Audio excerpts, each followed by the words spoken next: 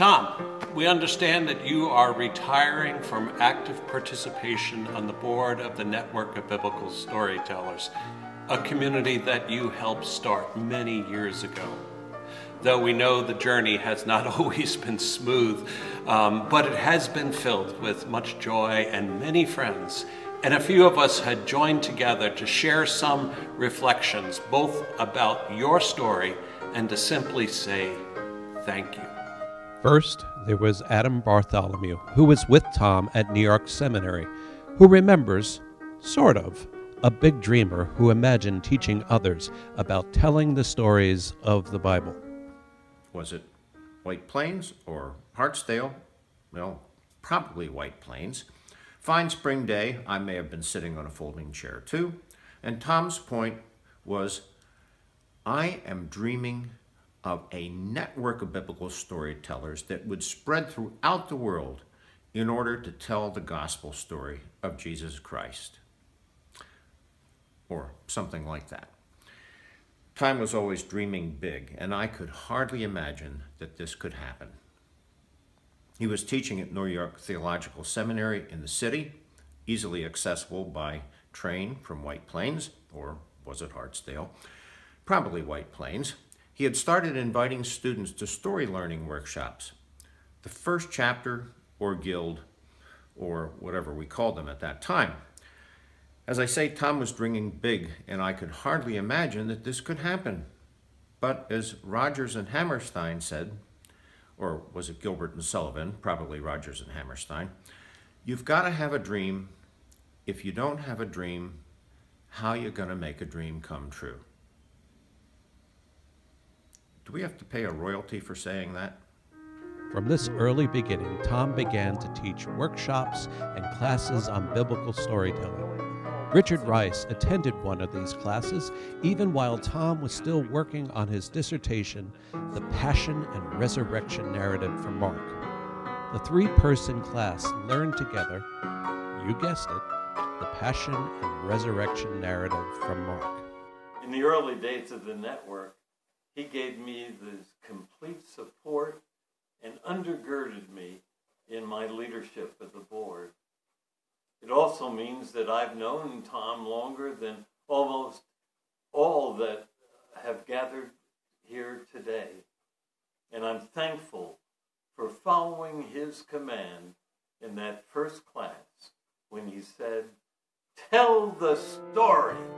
Eventually, there were enough people excited by biblical storytelling to hold the first festival gathering. Well, gathering, a thousand people. We need to fill this place. Among those who attended were a young couple, Richard and Elaine Davies, who were invited by Gary Venzel. They made the trek to Biddeford Pool, Maine to attend this huge freewheeling event, which they describe as something of, of a three ring circus. Particularly memorable was Tom telling the gospel according to Mark solo. We didn't know it at the time, but this would be the first epic telling. It would set up a significant NBS tradition. What we did know that night was that we had heard something breathtaking, enlightening, and important. Tom always has been driven by Jesus' teachings on peace. Jesus is the Messiah of peace. In the 1980s, that passion led him to imagine a storytelling event in Russia. Weldon Nicely shared that vision with Tom.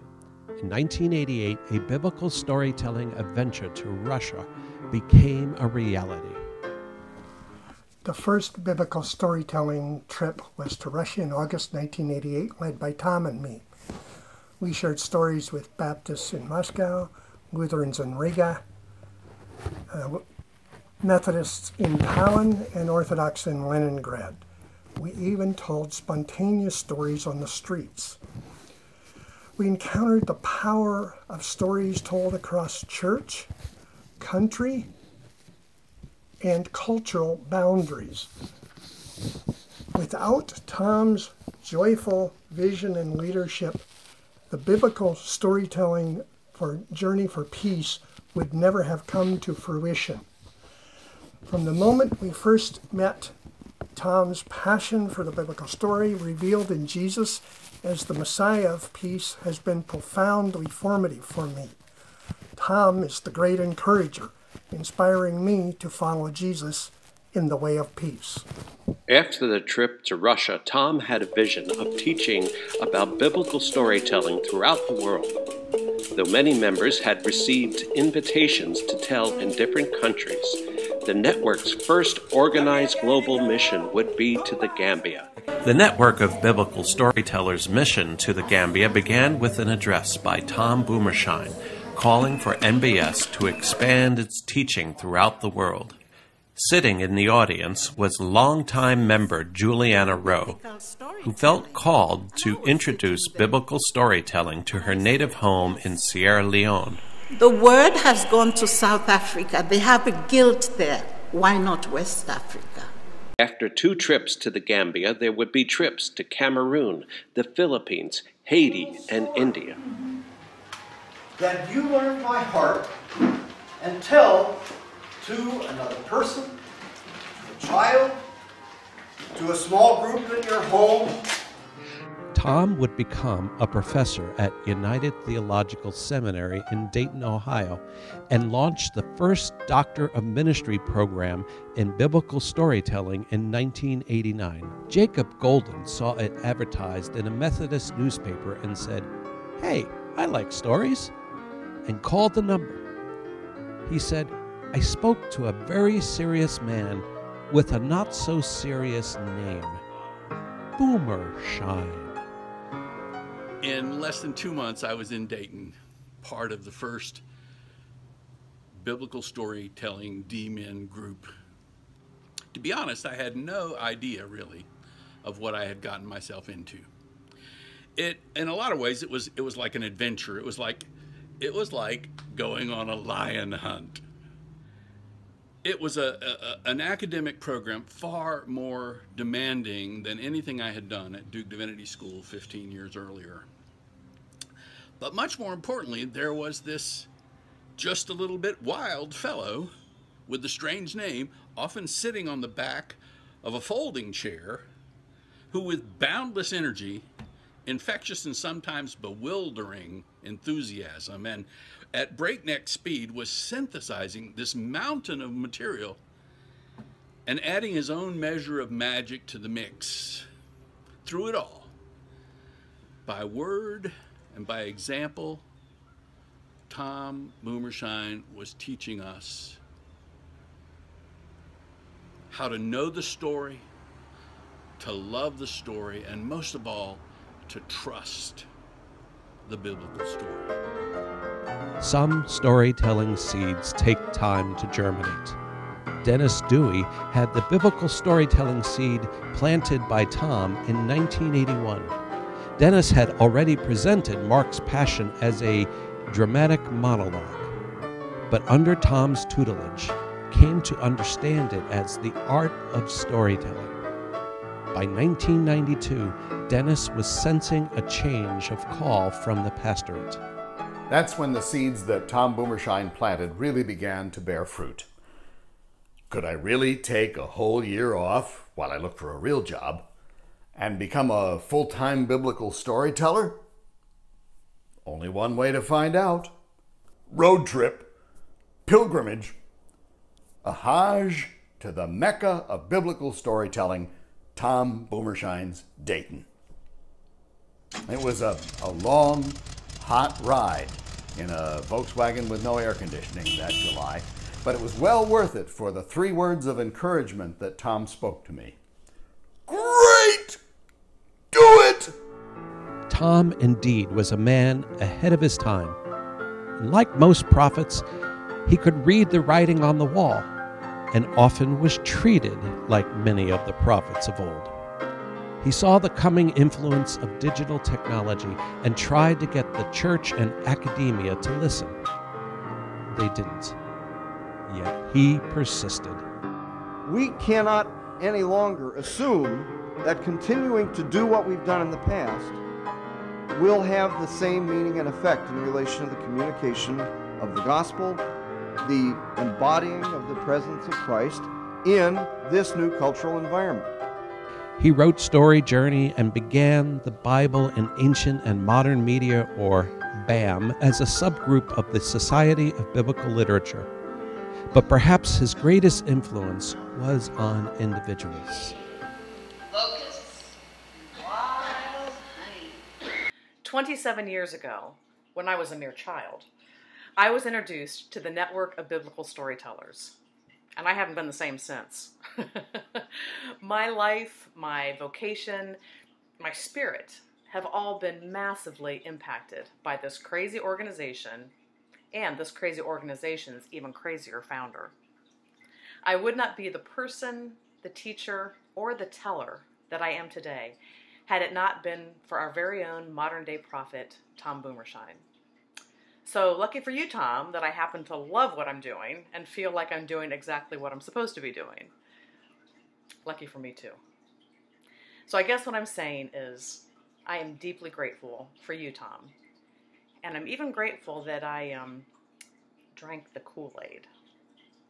In 2002, Tom was so devoted to biblical storytelling in the emerging digital culture that he left United Seminary and started Lumicon with Amelia Cooper Boomershine and two upstart digital graphic designers, Len Wilson and Jason Moore from the Ginghamsburg Methodist Church. At Lumicon, they produced integrated graphics and videos for churches to use in worship but they also held the Lumicon Institute to encourage the digital reformation of the church. Beth Galbraith was a part of that first institute. But Tom had an even bigger dream a training program in digital culture and the kind of ministry needed in the 21st century. It launched in 2002 with about 40 participants, and it was intense. Only four of us completed it that year. It opened my mind and my heart and launched me into seminary and a ministry serving God's people with technology and story. The next year, its last year, Tom trusted me to help teach the online segments. And that's what I still do today, teaching biblical storytelling and more online at beadisciple.com. In introducing the Institute, Tom told us if you complete the program, you will receive a certificate. This certificate gets you absolutely nothing, but it is a very cool certificate. Indeed, it is, and it hangs right next to my ordination certificate. Thank you, Tom, for being my inspiration, my teacher, and my mentor. Over a decade ago, Tom and Dennis Dewey had the wonderful idea of getting highly trained storytellers and biblical performance scholars to interact with each other in an intentional way. The NBS seminar meets each year for a few days before the festival gathering, with scholars and storytellers wrestling with God's Word enfleshed in a way that has been most generative. Tom hoped the, the NBS seminar would would take over the academy and put in place a new paradigm of biblical studies. While this hasn't happened yet in the fullness that Tom hoped for, the number of books and scholarly presentations and deepened performances that have come out of the seminar's work is phenomenal. This shelf behind me is full of the evidence of that. We have benefited so much from the wisdom gained in interacting with each other. There is so much more that could have been included in this video, like uh, by heart groups and telling in prisons, and the thousands of people like me whom you've inspired. So, on behalf of all of us, let me simply say thank you. And immediately, he got up and he rolled up his pallet and he walked out in front of them all so that they were all amazed and began to glorify God, saying, Whoa, we never seen anything like this.